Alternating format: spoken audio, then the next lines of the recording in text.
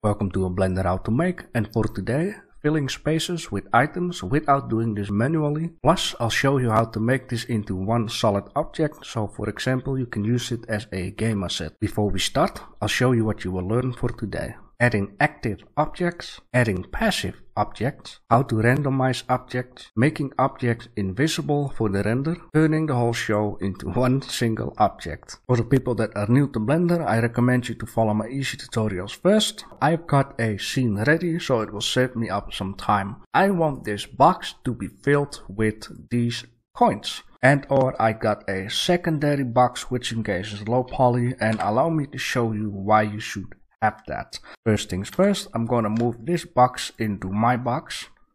And then I'm going to turn off this subdivision surface so you have a better idea of what's going on. With this secondary box being selected, I go to the physics tab and turn this into a passive object because I want this box to interact with this coin, but I don't want this box to move.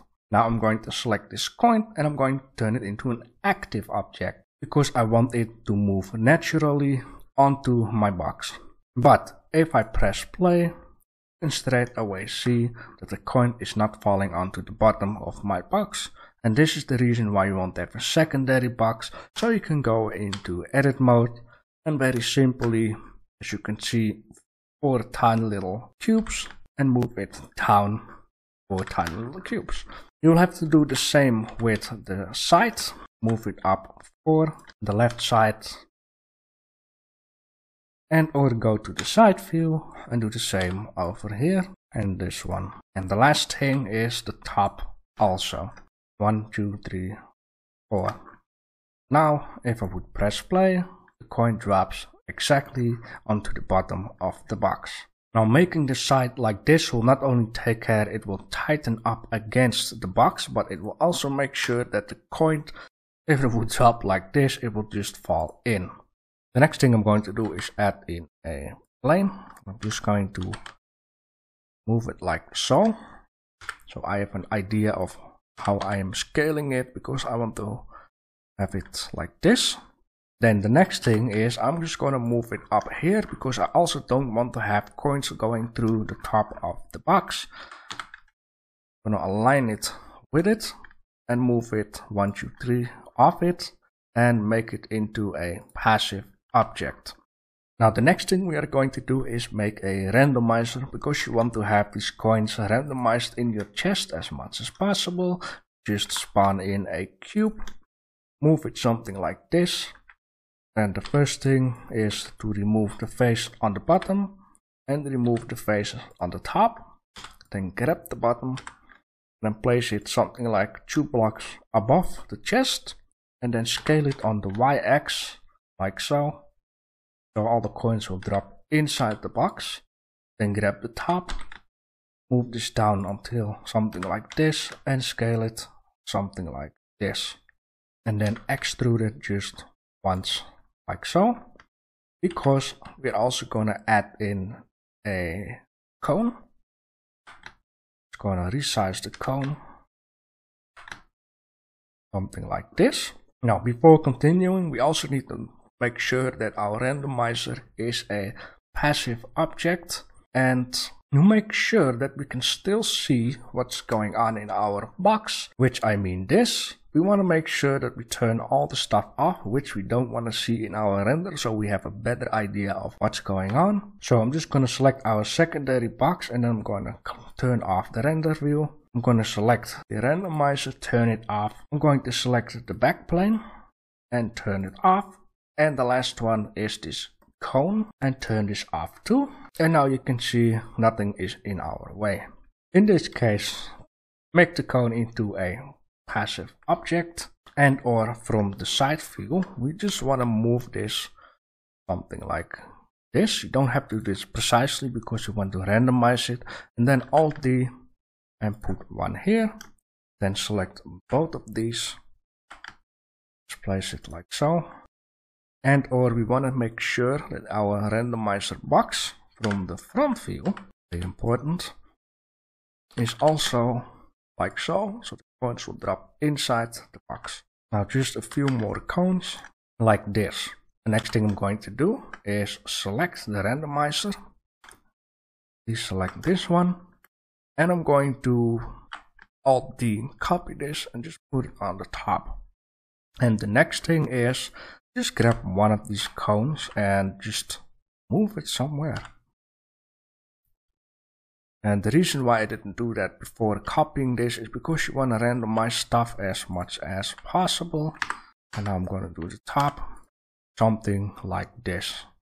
I'm just going to select this coin and then Alt D copying it because you want to share the same data. And if you change color of one coin, you want the colors of all coins to change. So I'm just going to do something like this very roughly. And then once again, just grab one of these coins and move them off site. I used Y before, but I can just select them and do this and do that.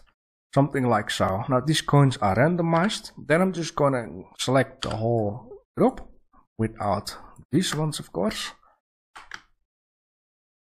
And I'm just gonna alt D them. So, random select some more random select some more and in this case the group is getting larger and larger I'm just gonna play this and you already seen that one of these coins has been falling off the box and is now going endless to the bottom. That is something you also don't want so you just select the floor then copy the floor just move it down something like this and add passive so it goes through your main floor but doesn't keep falling endless. And you also see that one of these coins has been falling through the box itself which in case is not a problem because it's not shown on your render now also one another thing is a problem in that as you can see that a few of these coins are stuck and if I would render this whole show you see some coins floating in the air and that is also something you don't want. And there is only one way to actually solve this problem and that is just move this thing out of the way. This one at the side and this is just something you will have to keep doing and doing and doing until it's fine. And after a while messing around, it looks pretty good. There are no coins floating in the air and or I can show you that I have took some coins out of here, I placed here on the top, I have randomized a few more of these coins to just fill it up here and there. And now it's time to turn the whole show into one solid object. I'm going to choose frame 250 because I like that the most and I'm going to turn it to 250 and I'm going to zoom in and now the point comes I'm going to select all these coins and I'm going to select my second one and I'm going to take care that I deselect everything I don't need like so. All I got is the coins and the secondary floor. Now I'm going to shift D this stuff, press escape, move it up to a second room and or I'm going to show you why you have to select a passive object with the active object um, once again, I'm going to select these coins and this time I'm taking care. I only got the coins. I'm going to duplicate this and move it to a room below. Now, if I would hold shift and select one random coin that all the coins have to be attached to and I'm going to press Ctrl J, you can see everything has joined one coin. But there is a but. If I would turn off this active by removing it, this will happen. It will go totally out of control. Now let's go back to this. With everything being selected, I'm going to select the floor as last, holding shift, select the floor, and I'm going to press Ctrl J to join the floor. If I would remove the passive, you can see the coins just stay where they are. And now it's pretty simple. I'm just going to go into edit mode, I'm going to select this floor and I'm just going to delete the floor. And there you go. We have one solid object, which is randomized. Or you can just, you know, adjust it the way you would like it to be with the other.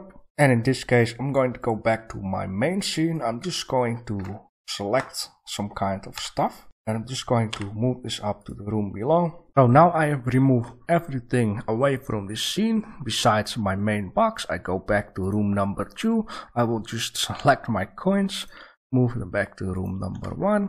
All I have to do now is move them up. Something like this. And I have to turn back the, up the surface and put them on. Two go back to my camera and press F12. And there you go, I got my crate, I got it filled randomly with coins.